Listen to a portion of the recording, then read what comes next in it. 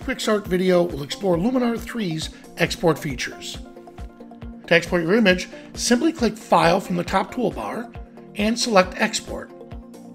Another option is to click the Share button in the far right corner on the top toolbar, and then from here, you'll click Export to Image.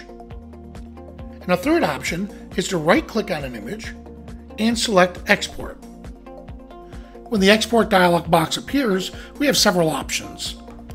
We can save the image with the original file name or give it a new one. We can select to tag the image. We can decide where we want to store the image. And for additional options, we can sharpen the image. We could resize it, whether we keep it for the original size or resize it on the long or short edge. We can also select a color space.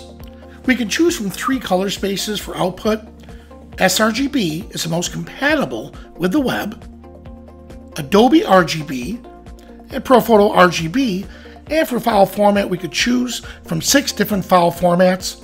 Some options like TIFF and JPEG may offer additional settings for control over compression and for bit depth.